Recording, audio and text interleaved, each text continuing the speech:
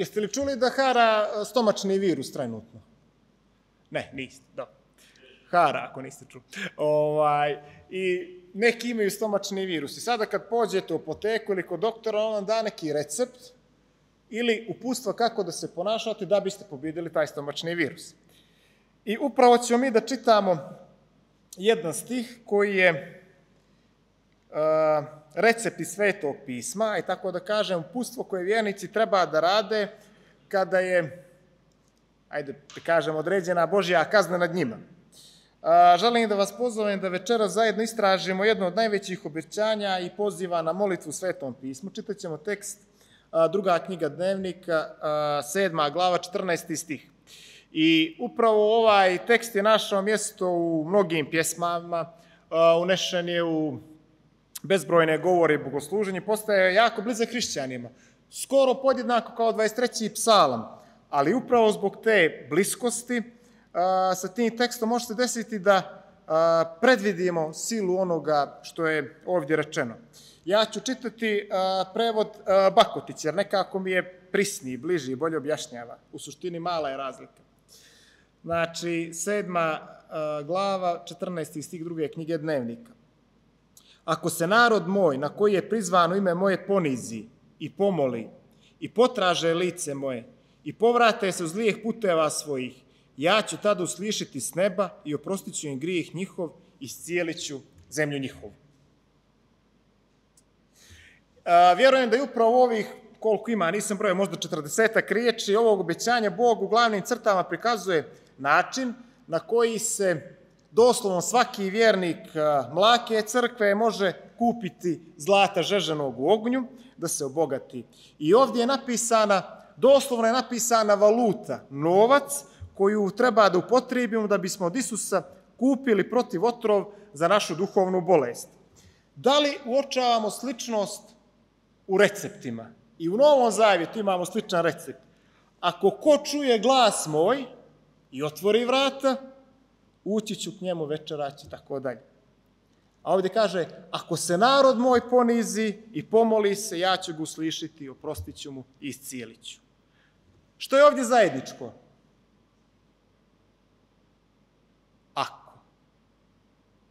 Znači, ta jedna mala riječ, ako. Postoji taj mali uslov na početku ovog dobro poznatog obećanja. Svega tri slova. Ako govori o snazi, ako govori o mogućnostima, govori o prilici, budućnost može da izgleda ovakva ili onakva. Krajnji ishod bi mogao da bude ovakav, a može da bude i sasvim drugačiji. Ako je tast na vake. Koliko je moćna ta riječ. I njena moć je još veća ako se primijeni na sada i na ovdje, gdje se posljedice našeg izbora još uvijek nalaze u našim rukama.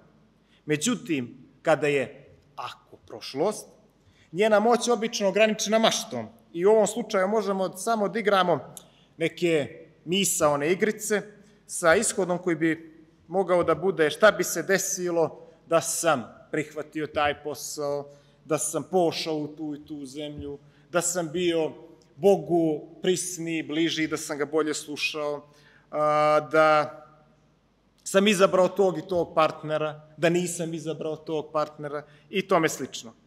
Šta Bog očekuje od svog naroda u tekstu druga dnevnika, sedma glava, 14. stih? Vrlo jednostavne stvari. On ovdje samo traži da se ponizimo, molimo, potražimo lice njegovo i pokajemo. Četiri jednostavne stvari. Na izgled prejednostavne. I onda će on da učini čudo. Onda će on da usliši s neba.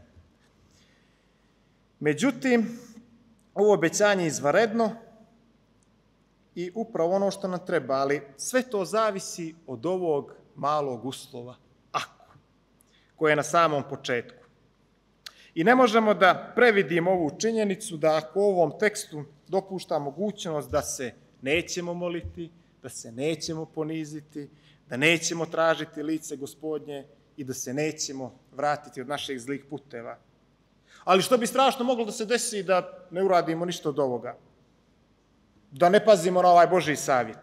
Iskreno, najgora stvar koja može da se desi jeste da ostanemo tačno onakvi kakvi sada jesmo.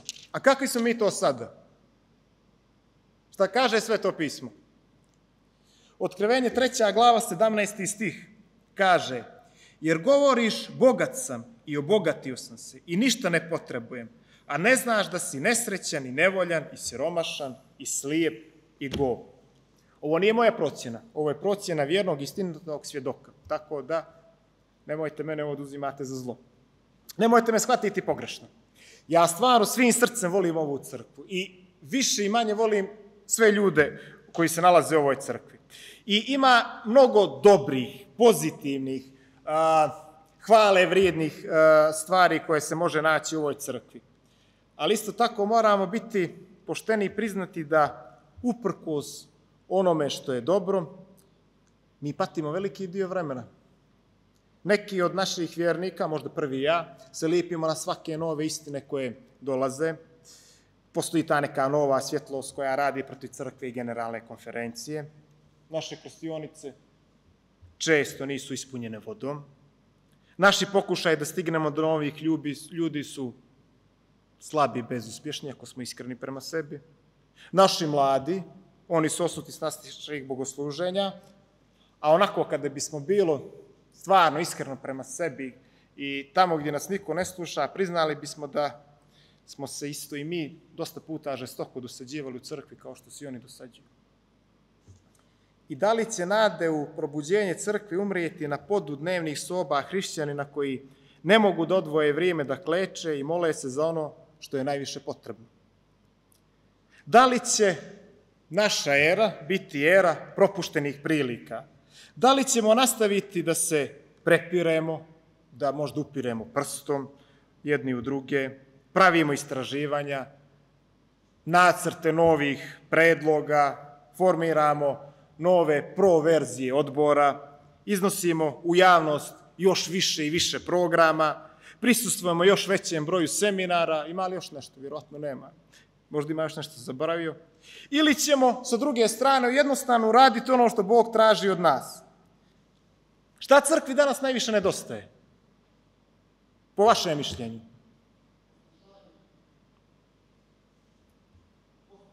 Poslušanje. Jer poslušanje nam najviše nedostaje.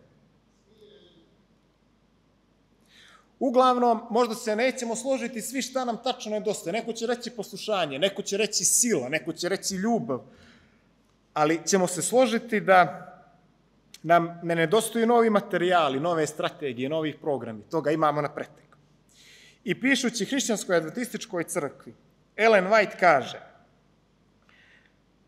probuđenje istinske pobožnosti među nama je najveća i najhitnija potreba. Traženje toga treba da bude naš prvi posao. I onda samo nekoliko rečenica kasnije ona otkriva metod kojim se radi ovaj posao. Probuđenje treba očekivati samo kao odgovor na molitvu. Isključivo kao odgovor na molitvu. Nema drugačije probuđenje. I pomenu na početku psalam 23. I svi ga znamo na pamet. I on predstavlja, kad čitamo 23. psalam, vidimo Davida vidimo osobu, vidimo nekog ko je ponosan zbog toga što zna kome pripada. Stavljajući sebe ulogu ovce, David ponosno kaže, gospod je pastir moj, ništa mi neće nedostajati. Skoro da možemo da vidimo koliko je on ponosan dok se obraća onima koji ajde, možda nisu imali toliko sreće da znaju gospoda kao što ga on zna. On kaže, ja pripadam gospodu. On je vlasnik, on je stvoritelj, on je svedržitelj. Ništa mi neće nedostajati dok god sam gospodnji. I ima li ljepšeg osjećaja od osjećaja pripadnosti? Da, da nekako znate da ste prihvaćeni, da ste shvaćeni, da ste voljeni i vrednovani upravo zbog toga što ste vi Ne zbog nekog drugog, nego zato što ste upravo vi takvi. I mi, ruku na srce, možemo pripadamo raznim udruženjima, možemo pripadamo raznim nekim društvenim zajednicama, društvu iz ulice. To je prelijep osjećaj pripadnosti. Možemo također da pripadamo i pripadamo porodici, ljudi sa kojima dijelimo istu krv, istoriju, nasljeđe. I porodica znači i pripadanje, ali najljepše od svih pripadanja je pripadati Božijem narodu. Bog nas poziva, Bog nas naziva svojim narodom. Psalam 103. stih kaže mi smo ovce paše njegove. Mi mu pripadamo i mi mu pripadamo svo vrijeme, ljeti, na jesen, u zimi, kad je vrućinja, u proljeću, u krevet, na poslu, u supermarketu. Pripadamo dok smo na našim koljenima, dok smo pod stresom, dok smo preopterećeni, dok smo umorni, sa lošom frizurom, sa dobrom frizurom. Ako nemamo kosu, isto mu pripadamo, sa bradom, bez brade, u gužvi dok smo sami, dok mijenjamo pelenu, dok mijenjamo gumu. Svo vrijeme pripadamo gospodu. Mi smo njegov narod. Da li stvarno vjerujemo u ovo? Evo sada vas pitam, da li stvarno razumijemo ove stvari što piše ovdje u Svetom pismu? Da smo njegov dragocjeni pozit i da niko ne može, ali baš niko, bez obzira koliko bio duhovit, koliko dobro izgledao, koliko bio dobro obučen, koliko bio, ne znam, darovit, nadahnut, inteligentan ili duhovan, da niko ne može zauzeti naše mjesto u Božijem srcu. Da li stvarno vjerujemo u te stvari? Kada kažemo da Isusu i prihvatimo njegov poziv da ga slijedimo, bez obzira na našu istoriju, mi postajemo upravo ono što Jovan kaže. Evanđelje po Jovanu, prva glava, 12. i 13. stih a koji ga primiše, dade im vlast da budu sinovi Božiji, koji vjeruju ime njegovu, koji se ne rodiše od krvi, niti se rodiše od volje tjelesne, ni od volje muževljeve, nego od Boga. Mi smo njegov narod. Petar piše slične stvari. Druga Petrova, mislim da je prva glava.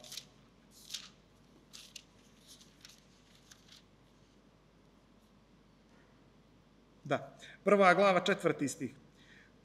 Kroz koje se nama darovaše časna i prevelika obećanja, da njih radi imate dijel u Božoj prirodi, ako utečete od tjelesnijih želja ovoga svijeta.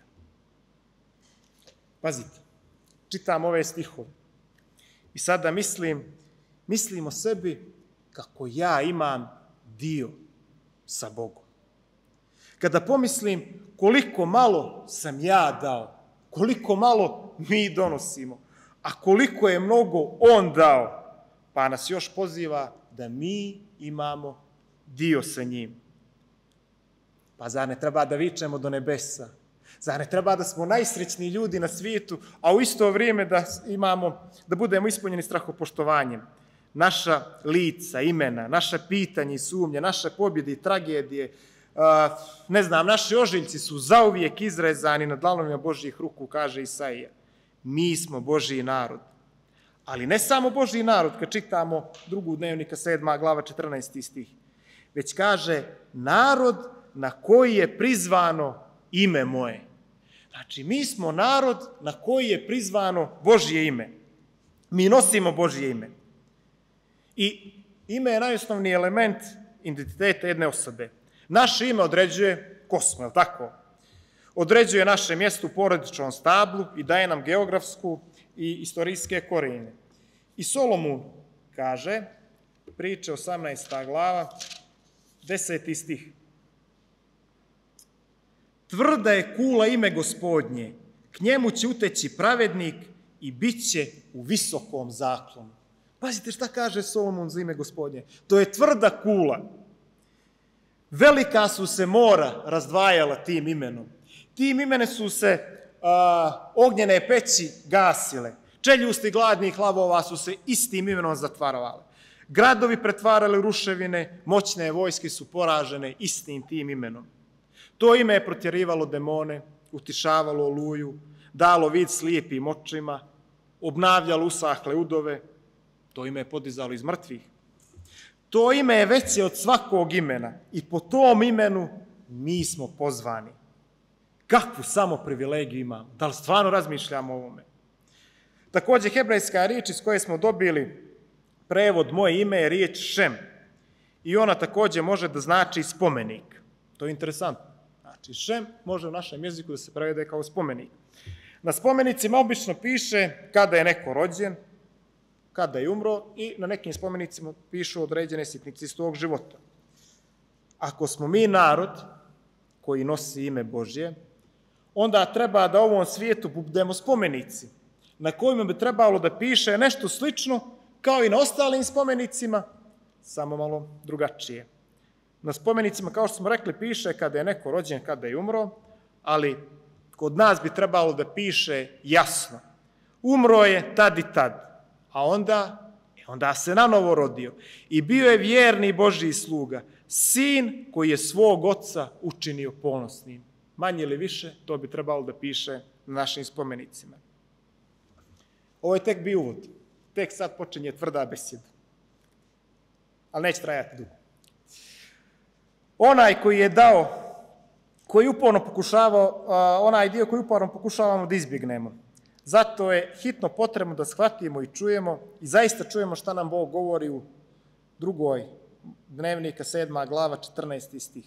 Pazite, imamo četiri poziva. Ako se narod moj, to je prvi, znači, Bog ovdje ne govori strancima, On govori meni i vama, mi smo njegovi, mi mu pripadamo, On govori ovci stada, ne nekim neprijateljima, već svojim prijateljima, znači, ako se narod moj, na koji je prizvano ime moje, ponovo, mi smo pozvani njegovim imenom i imamo udio s njim. On to traži od nas, on nam daje taj dio, očekuje to od nas. Mi širimo njegovu misiju, njegovo carstvo. Što kaže apostol Pavle? Mi smo pozvani umjesto Hrista, kao da Bog govori umjesto nas. Druga Korinćanima, peta glava, 20. stih. Znači, ako se narod moj, na koji je prizvano ime moje, ponizi. E, rekao ja tvrda beseda. Zapazite, ovo je prva smjernica od nizu od četiri ukupno koliko ovdje piše. Uh, od ukupno četiri ovoj uh, prije nego što nam je rečeno da se molimo, znači rečeno nam je da se molimo, da se, uh, da se tražimo lice gospodnje, da se povratimo od naših puteva, prije toga nam je rečeno da se ponizimo. Ništa ovo ne možete uraditi ako se ne ponizite. Mi ljudi često ne slušamo sve dok ne postane prekasno. Zato nam se rijetko sviđa ono što slušamo, posebno ako nas ono što čujemo poziva da promijenimo mišljenje, način života, stav ili ponašanje. Na primjer, uzmemo Božju poruku Laodikeju, u otkrevenju treća glava. I da li vam je zaista prijatno da čujete da smo nesrećni, nevoljni, da smo siromašni, slijepi, goli? Volimo li to da čujemo o sebi?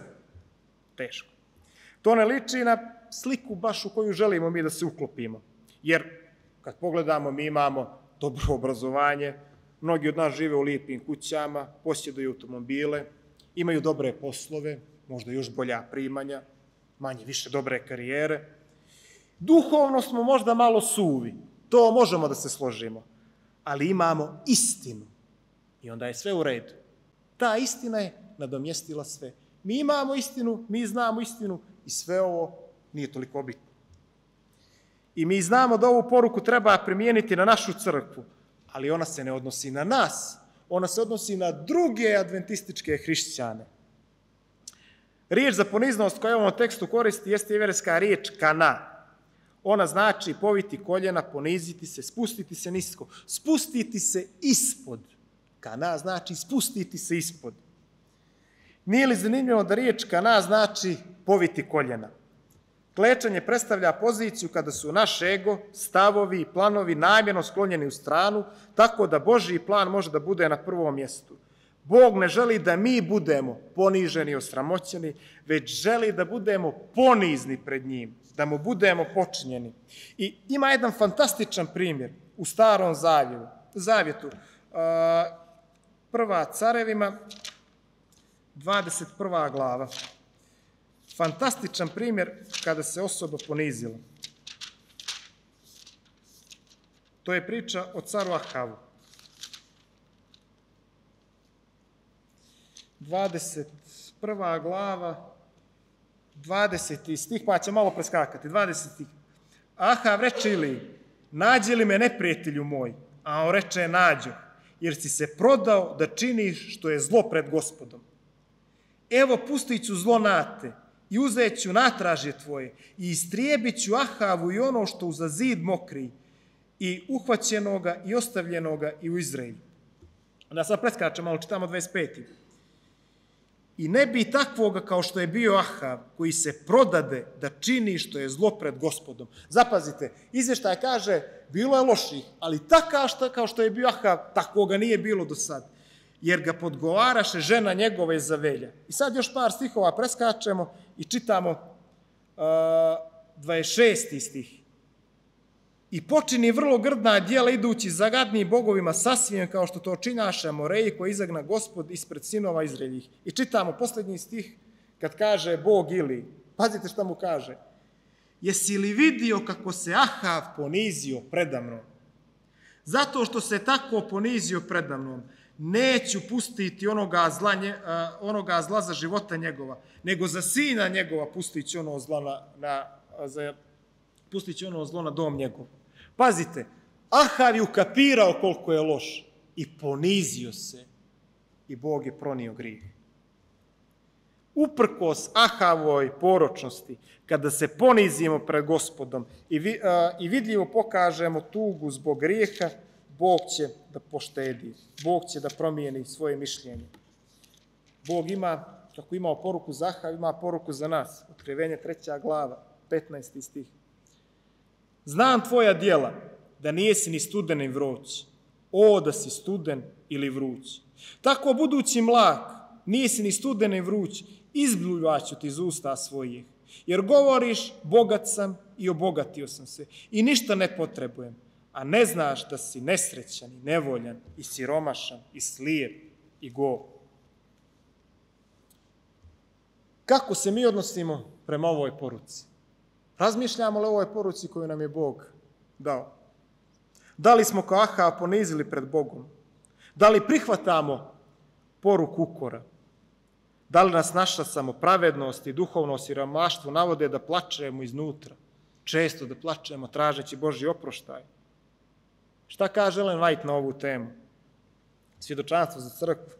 Ona kaže, o svjedočanstvu vjernog svjedoka ni upola se ne vodi računa. Svečano svjedočenje od koga zavisi sudbina crkve jedva se poštuje, a negdje se na njega uopšte ni ne obraća pažnja. Toliko Ellen White kaže u ovom slučaju. Ono što crkva treba da uradi kao cijelina, najprije treba da uradim ja kao njen pojedinac, kao član, da se ponizim pred gospodom kao što je to uradio pred Aha. Mi pred sobom imamo Boga koji čini nevjerovatne stvari, što uvijek zbunjuje mudre ljude ovog svijeta. Kad čitamo drugu Mojsijevu, Bog je upotrebio pastirsku palicu da oslobodi ropski narod i počini carstvo moćnih. Nikada se ne bih sjetio toga. Bog je to uradio. Onda kad čitamo sudje 15. glava, 15. stih, Bog je upotrebio sirovu magareću čeljust u rukama snažnog Azireja da s njome pobije hiljadu filistejskih snažnih vojnika. Kad čitamo prvu Samuilovu 17. glavu, Bog je upotrijebio jednog dječaka i praćku i glatki kamen da porazi diva koji je zaplašio i paralisio cijelu izraelsku vojsku. Bog nekako radi neočekivan. A onda taj veliki Bog, Bog svemira, koji radi takve nestvarne stvari, traži od vas i mene samo nešto, da se ponizimo i pomolimo. Da li ćemo stvarno to uraditi? Kada bi Bog možda traži od nas nešto veliko da učinimo, nešto vrlo složeno, evanđeosku strategiju s podršku visoke tehnologije koja će pokrenuti revoluciju u hrišćanstvu, mi bismo to i uradili. To prihvatili bismo se toga posla. Ali on umjesto toga traži, kao što je tražio od Nemana, da se samo sedam puta okupamo u Jordanu. I ništa više. Umjesto toga on traži da hodamo u tišini sedam puta oko Jerihona. To je sve.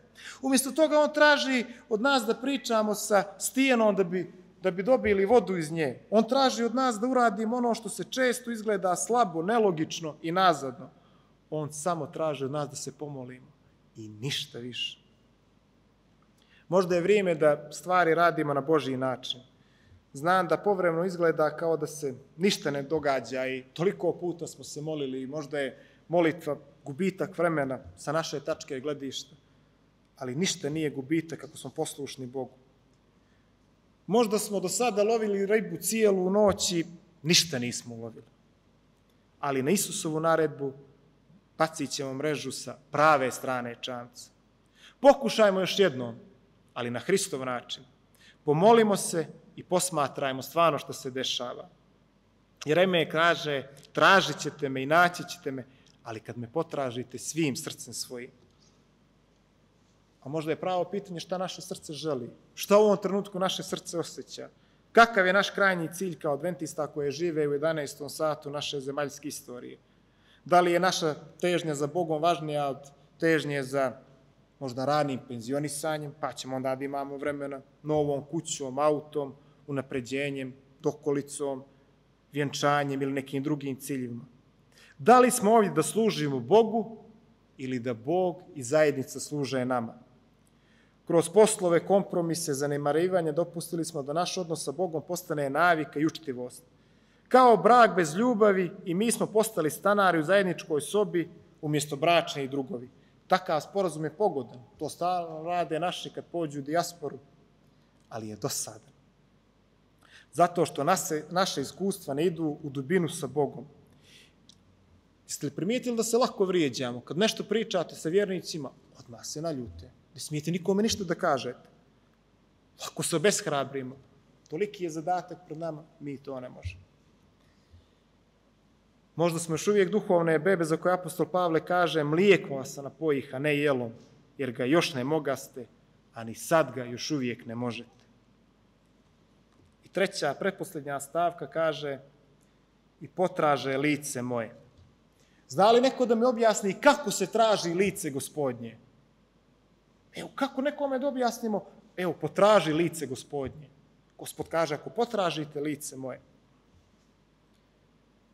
Možda bi trebalo da se molimo za srce koje zaista želi da slijedi Boga. Drugim riječima, tražimo svim srcem da zavolimo gospoda. Ne mogu ja da pogledam u vaše srce, ne možete ni vi u moje. Mi možemo da slijedimo Isusa sa jakim osjećanjem obaveze, ali bez prave istinske ljubavi prema njemu. Hajde da ga zamolimo da nas učini žednim, ne za silom, ne za radom u crkvi, već silom da ga volimo više nego što volimo sebe. Molimo li se ovako? Takođe, hajde da ga zamolimo da nam pomogne da shvatimo da je vrijeme provedenja sa njim upravo ono što piše u petoj Mojsiji. Peta Mojsija, 30. glava.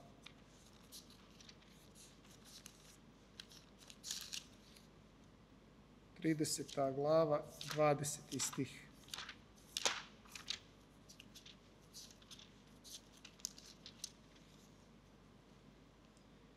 Ljubeći gospoda Boga svojega, slušajući glas njegov i držeći se njega, jer je on život tvoj i dužina dana tvojih, da bi nastavao na zemlji za koju se zakla ocima tvojim, da, ćeš, da ću ti je dati. Da shvatimo da vrijeme koje provodimo sa Bogom znači život. I četvrti i posljednji uslov za dobijanje ovog obećanja za probuđenjem jeste da se povratimo od zlijih puteva naših. Jojlo kaže, razderite srca svoje, a ne haljine svoje. I ja bih najradije nekako preskočio ove stihove, jer jedva čekam dođem do onoga dobrog dijela kada Bog uslišava, kada se vidi sila njegova i sve to. Ali ako preskočimo ovaj dio, plašnim se da nećemo uspjeti da stignemo do našeg odredišta, da je Bog to smatrao beznačajnim i bezvrijednim, on to ne bi uključio poziv na pokajanje u ovoj formuli za probuđenje, a ipak ga je uključio. Zašto?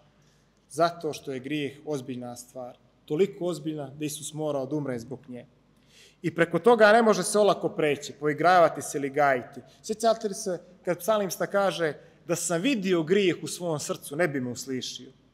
Ako ne damo Isusu da se pozabavi sa grijehom u našem životu, svi drugi pokušaj da tražimo lice gospodnje, bit će uzalud.